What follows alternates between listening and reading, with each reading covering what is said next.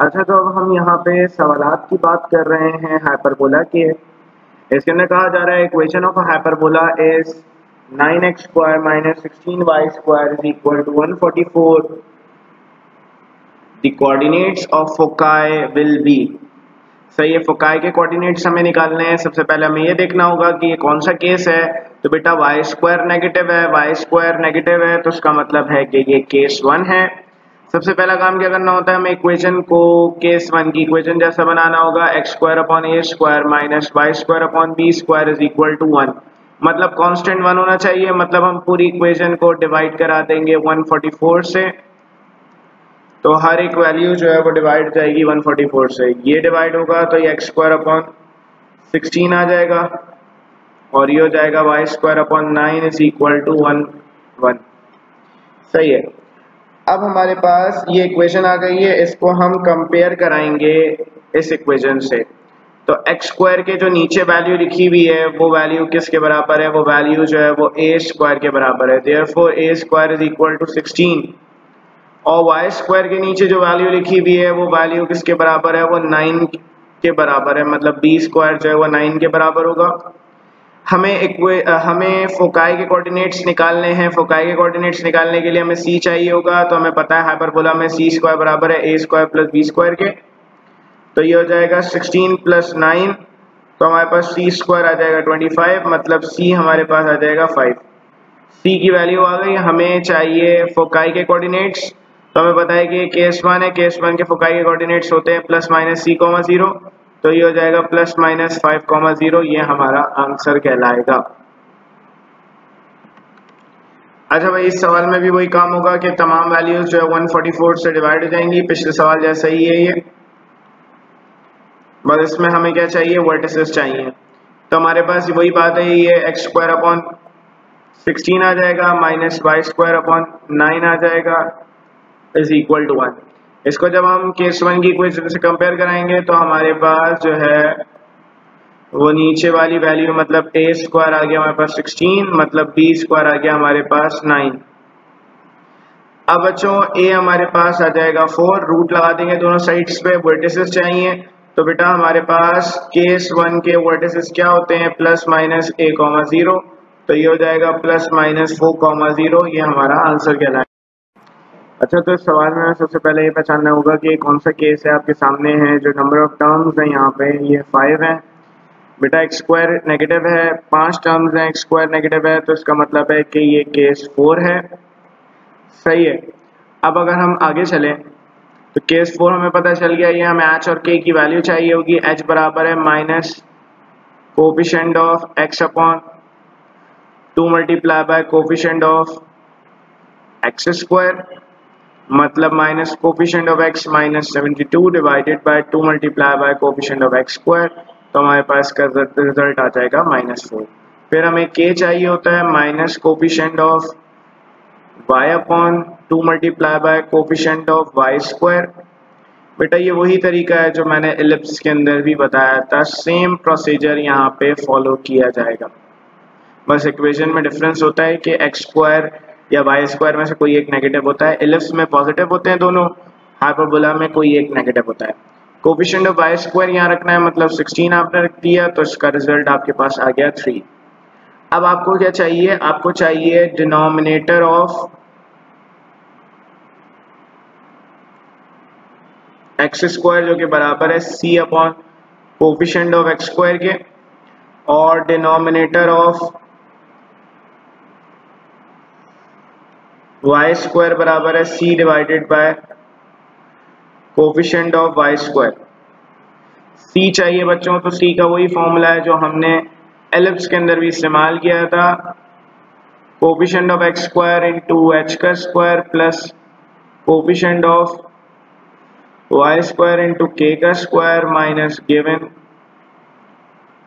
Constant तो सी आ जाएगा कोफिशियंट ऑफ़ एक्स स्क्वायर आ जाएगा हमारे पास माइनस नाइन, ये आ जाएगा हमारे पास माइनस फोर का स्क्वायर प्लस ये हो जाएगा हमारे पास कोपिशेंट ऑफ़ वाई स्क्वायर मतलब सिक्सटीन इंटू थ्री का स्क्वायर माइनस गिवन कांस्टेंट है माइनस का वन फोर्टी फोर। तो ये आ गया माइनस का वन फोर्टी फोर प्लस का वन फोर्टी फोर और ये प्लस का 144 तो एक 144 से 144 कैंसिल 144 आ गया हमारे पास। सी की value 144 coefficient of x square हमारे पास क्या है? माइनस नाइन तो ये माइनस का 16 आ गया। यहाँ पर आ गए हम तो ये कोफिशेंट ऑफ़ वाई स्क्वायर की जगह आ गया 16 ये बराबर आ गया नाइन के। बेटा, जो वैल्यू पॉजिटिव है, वो ए स्क्वायर है, जो भी नेगेटिव वैल्यू है, वो बी स्क्वायर है माइनस की साइन को छोड़ के। वर्टिसेस निकालने के लिए हमें ए चाहिए होता है मतलब ए स्क्वायर बराबर हो गया नाइन के तो ए बराबर हो जाएगा हमारे पास थ्री के। तो वर्टिसेस के कोऑर्डिनेट्स बच्चों क्या होते हैं? केस फोर के तो केस फोर के होते हैं h comma k plus minus a तो एच की जगह आ गया माइनस फोर के की जगह आ गया हमारे पास थ्री प्लस माइनस थ्री तो हमारे पास इसका रिज़ल्ट आ जाएगा माइनस फोर कॉमा एक दफ़ा हम दोनों को ऐड कराएँगे सिक्स और एक दफ़ा हम दोनों को माइनस कराएँगे मतलब ज़ीरो अच्छा बेटा, इस सवाल को सॉल्व करने का एक और रास्ता भी है, क्योंकि वर्टिसेस ऐसे पॉइंट्स हैं जो कि हाइपरबोला के ऊपर लाई करते हैं तो हम क्या कर सकते हैं? जो ऑप्शंस आपके पास सवाल में मौजूद होंगे, उनको एक्स वाई की जगह रख सकते हैं। मतलब एक्स और वाई की जगह ये रखा और चेक कर लिया कि left hand side right hand side बराबर आ रही है या नहीं आ रही इसी तरीके से ये भी एक्स वाई की जगह आपने रखा। इस इक्वेशन में वहाँ पे चेक कर लिया कि left hand side right hand side बराबर आ रही है या नहीं आ रही। तो दोनों रास्ते हैं जो आपको आसान लगे। अच्छा तो इस सवाल के अंदर कहा जा रहा है हमसे equation of a hyperbola is 25 y square minus 16x square is equal to 400 the equation of its asymptotes will be asymptotes की इक्वेशन निकालनी है asymptotes होते क्या हैं एजमटूड्स ऐसी लाइंस हैं जो कि पास करती हैं सेंटर से सही है हाइपरबोला के सेंटर से पास करेंगी और ये लाइंस हाइपरबोला को अप्रोच करेंगी। अगर आप देखें तो इनके दरमियान में थोड़ा सा डिस्टेंस मौजूद है। मतलब इन दोनों के दरमियान का जो डिस्टेंस होता है ना ये ये डिस्टेंस टेंस टू ज़ीरो होता है। मतलब ये डिस्टेंस जो है वो ज़ीरो को अप्रोच कर रहा होता है, लेकिन ज़ीरो के बराबर नहीं होता। वैसे तो ये टॉपिक फेडरल बोर्ड का है, लेकिन क्योंकि किताब के अंदर इसके एमसीक्यूज मौजूद हैं तो इसलिए मैंने कहा कि इसको भी डिस्कस कर लेते हैं। अब इसके अंदर हमारे पास दो चीज़ें होती हैं। Case one and case three के लिए इन लाइंस का जो स्लोप है, वो plus minus b upon a होता है। Case two and case four के लिए इन लाइंस का slope plus minus a upon b होता है। अब हमारे पास ये कौन सा केस है? ये केस टू है। अच्छा बेटा स्लोप तो ये होता है इक्वेशन निकालने के लिए हमें पॉइंट और स्लोप चाहिए होता है। तो सेंटर के जो कोऑर्डिनेट्स होते हैं, वो x1 y1 होते हैं और इस पे हम पॉइंट स्लोप फॉर्म का इस्तेमाल करते हैं इक्वेशन निकालने के लिए। सही है। तो हमारे पास ये इक्वेशन है, तमाम वैल्यूज़ को हम 400 से डिवाइड कराएँगे ताकि हमारे पास इक्वल टू वन आ जाए।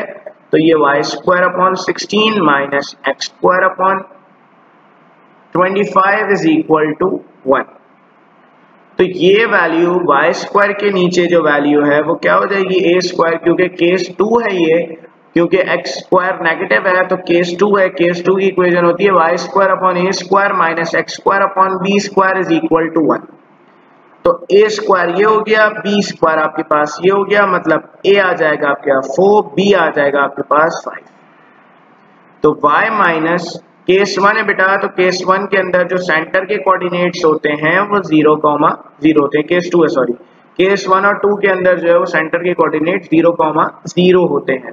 तो y minus y one y one की जगह ज़ीरो m की जगह आ गया आपके पास plus minus b upon sorry a upon b, x minus zero तो y is equal to plus minus a upon b x तो y आ जाएगा हमारे पास plus minus four upon five x ये हमारे पास इक्वेशन ऑफ़ एजमटूड्स आ जाएँगी। उसके बाद हम बात कर रहे हैं ऑक्सिलरी सर्कल की मतलब हाइपरबोला का जो ऑक्सिलरी सर्कल होता है, उसकी इक्वेशन क्या होती है? ऑक्सिलरी सर्कल की डेफिनेशन कहती है? एक ऐसा सर्कल जिसका डायमीटर बराबर हो जाए किसके? जिसका डायमीटर बराबर हो जाए ट्रांसवर्स एक्सिस के। एलिप्स के अंदर है तो मेजर एक्सिस के। आपको पता है ये वर्टिसेस हैं हाइपरबोला के। वर्टिसेस के दरमियान में जो लाइन होती है, ये लाइन क्या कहलाती है? ये लाइन कहलाती है ट्रांसवर्स एक्सिस सही है? जो ट्रांसवर्स एक्सिस है, वो बेसिकली इस सर्कल का डायामीटर भी है. मतलब इस सर्कल का जो डायामीटर है, वो ट्रांसवर्स एक्सिस के बराबर है. और ट्रांसवर्स एक्सिस की जो लेंथ होती है, वो 2a के बराबर होती है.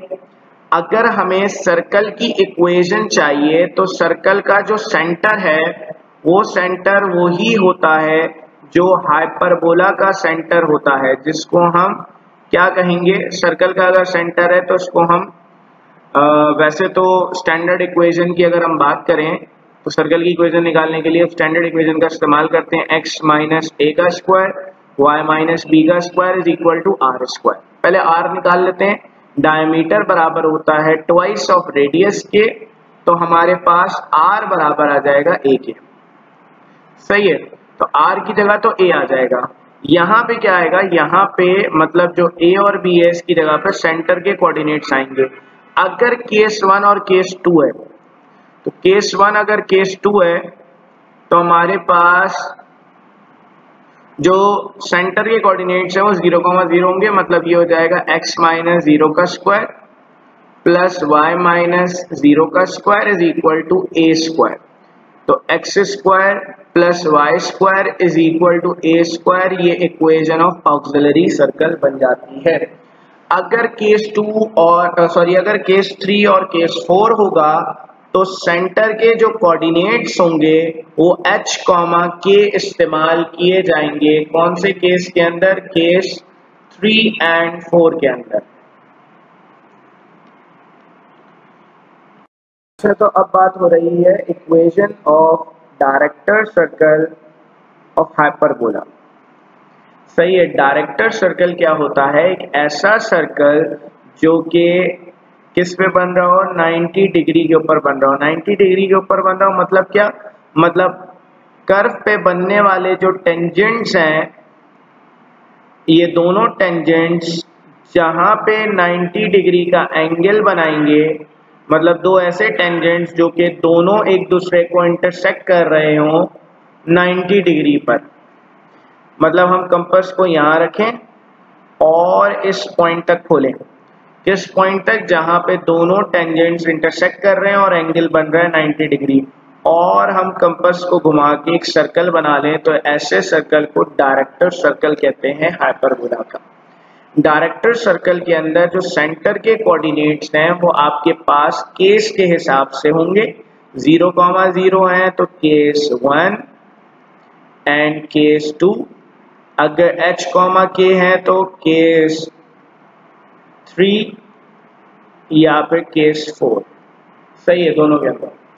डायरेक्टर सर्कल की हमारी किताब में जो बात लिखी गई है, उसके अंदर रेडियस लिखा गया है कि root a square minus b square के बराबर है। तो हमारे पास इक्वेशन जब सेंटर ओरिजिन पर है, उसकी बात कर रहा हूँ तो इक्वेशन क्या बन जाएगी? x माइनस ए का square plus y minus b का square is equal to r square ये इक्वेशन होती है सर्कल की। अगर सेंटर को ओरिजिन पे रख दें तो हमारे पास जो इक्वेशन है, वो कुछ ऐसी बन जाएगी। होल स्क्वायर स्क्वायर से रूट कट जाएगा। X square plus y square is equal to a square minus b square अच्छा तो बच्चों डायरेक्टर सर्कल एलिप्स का भी होता है। सही है पैराबोला का भी होता है। अभी वो भी मैं डिस्कस करता हूँ। अच्छा तो अब डायरेक्टर सर्कल की बात हो रही है डायरेक्टर सर्कल ऑफ़ एलिप्स सही है, आप देख लें बच्चों, यहाँ पे ये लाइन ये जो लाइन आपको दिख रही है, एक मिनट ये लाइन आपको दिख रही है। ये लाइन टेंजेंट है एलिप्स पे। ये लाइन भी टेंजेंट एलिप्स पे। सही है, ये लाइन भी टेंजेंट एलिप्स पे। और ये लाइन भी। ये सारी की सारी लाइन जो है वो एलिप्स पे टेंजेंट है।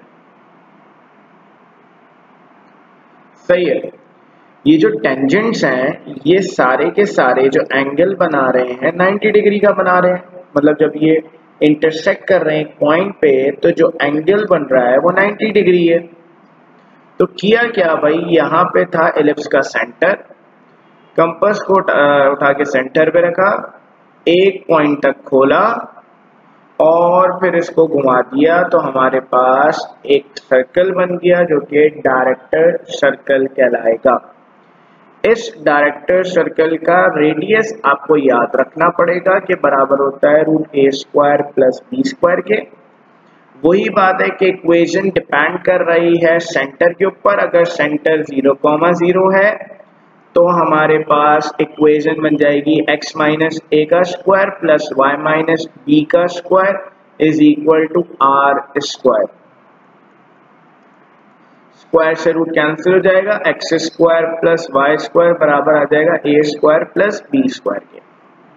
अच्छा बच्चों पैराबोला का जो डायरेक्टर सर्कल होता है ना, वो बेसिकली अज्यूम किया जाता है एक ऐसा सर्कल जिसका रेडियस इंफिनिटी हो तो उसका कोई फॉर्मूला एग्जिस्ट नहीं करता।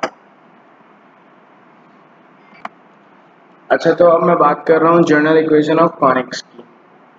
क्या है भाई? A x square plus b y square plus two h x y plus two g x plus two f y plus c is equal to zero ये जो इक्वेशन है, ये जर्नल इक्वेशन कहलाती है कॉनिक्स की।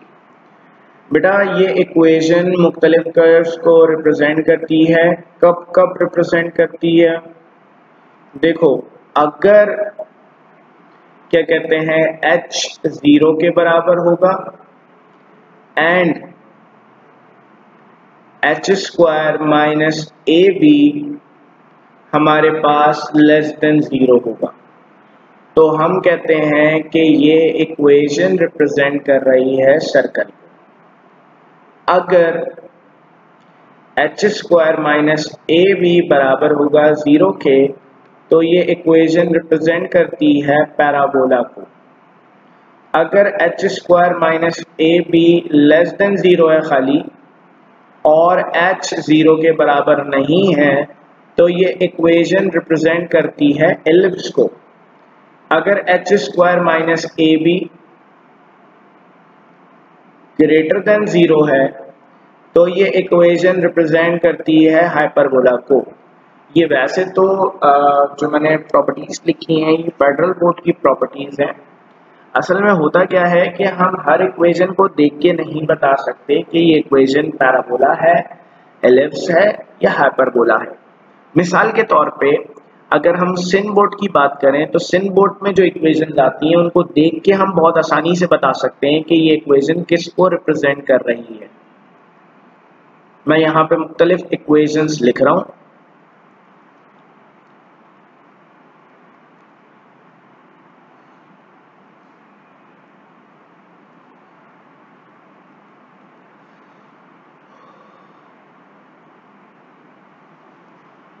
अब बेटा, एक रास्ता तो ये है कि आप इन प्रॉपर्टीज़ का इस्तेमाल करें। ए निकालें ए क्या है? Coefficient of x square b निकालें बी क्या है? कोफिशेंट ऑफ़ वाई स्क्वायर सही है।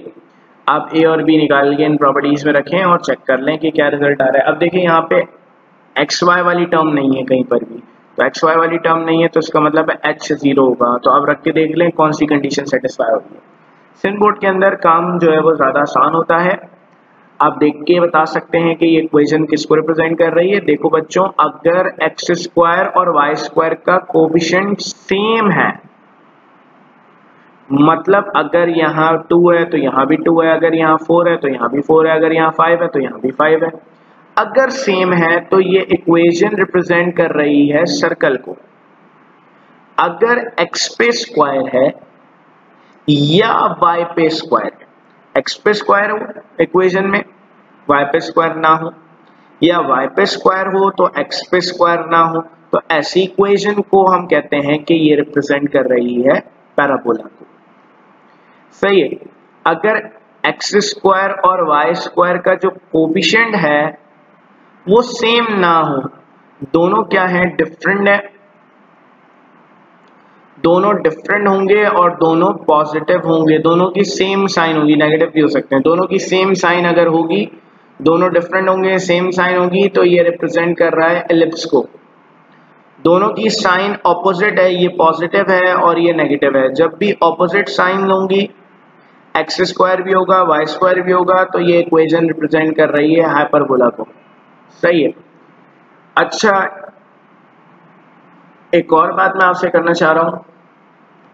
हम एक और तरीके से बता सकते हैं कि ये इक्वेशंस जो है वो एलिप्स हाइपरबोला और उसको रिप्रेजेंट कर रही है। अगर ए और बी बराबर है और एच बराबर है ज़ीरो के मतलब ये दोनों सेम है एक्स स्क्वायर और वाई स्क्वायर के कोफिशिएंट सेम है और एच ज़ीरो है तो ये रिप्रेजेंट कर रही होती है सर्कल को। अगर ए ज़ीरो है या बी ज़ीरो है अगर ए ज़ीरो हो गया तो ये पूरी वैल्यू खत्म हो जाएगी। वाई स्क्वायर वाली वैल्यू बच जाएगी। अगर बी ज़ीरो हो गया तो ये पूरी वैल्यू खत्म हो जाएगी। एक्स स्क्वायर वाली वैल्यू बच जाएगी। तो ऐसे को हम क्या कहते हैं? ये रिप्रेजेंट कर रही है पैराबोला को। ए और बी बराबर ना हो सेम साइन हो। तो ये क्या किसको रिप्रेजेंट कर रहा है? ये रिप्रेजेंट कर रहा है एलिप्स को। ए और बी बराबर हो भी सकते हैं और बराबर नहीं भी हो सकते। बस क्या होगी? डिफरेंट साइंस होंगी दोनों की। तो ये रिप्रेजेंट करेगा हाइपरबोला को। तो इस तरीके से आप जो ये बता सकते हैं कि किसको रिप्रेजेंट कर रहा है। अच्छा एक और चीज़ है हाइपरबोला के अंदर जो कि हमने भी डिस्कस नहीं करी रेक्टेंगुलर हाइपरबोला रेक्टेंगुलर हाइपरबोला कौन सा हाइपरबोला होता है? एक ऐसा हाइपरबोला जिसका ट्रांसवर्स एक्सेस बराबर हो जाए कॉन्जुगेट एक्सेस के। मतलब 2a बराबर हो जाए 2b के मतलब a बराबर हो जाए b के तो ऐसे हाइपरबोला को हम रेक्टेंगुलर हाइपरबोला कहते हैं। आ, सवाल इसका ये आता है एमसीक्यू के अंदर कि इसकी एसेंट्रिसिटी बताओ। तो एसेंट्रिसिटी कैसे निकालते हैं? भाई, हमें एलिप्स का एक फॉर्म हाइपरबोला का एक फॉर्मूला पता है सी स्क्वायर बराबर है a square plus b square के। हमें एक चीज़ और पता है कि ई e बराबर होता है सी अपॉन ए के तो ई e ए बराबर हो जाएगा सी के, क्योंकि डिवाइड हो रहा है, वहाँ जाके मल्टीप्लाई हो जाएगा। सी की जगह पे हम रख देंगे ई e ए तो ये इसका square is equal to a square plus b की जगह पे हम रख देंगे ए तो ये ए स्क्वायर हो जाएगा। E square a square is equal to two a square a square से a square cancel e square is equal to two दोनों साइड्स पे रूट लगा देंगे तो हमारे पास ई e बराबर आ जाएगा रूट टू के तो ये जो हमारे पास रिज़ल्ट आया ही का, ये सेंट्रिसिटी होती है रेक्टेंगुलर हाइपरबोला की, ये आपको याद रखना है।